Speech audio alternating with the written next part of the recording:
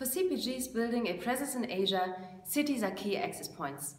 Operating at national scale is challenging in such a culturally diverse region, but through cities, suppliers can establish pockets of financially viable operations with which they can test consumer response and optimize further market development strategies. Asia will see its share of global retail rise from 40% to 45% in the next five years. By 2025, 54% of the continent's 4.2 billion people will live in cities, driven by internal migration as consumers look for better lives. CPG and retailers should take this opportunity to capture a rising consumer with increasingly streamlined lifestyles across borders.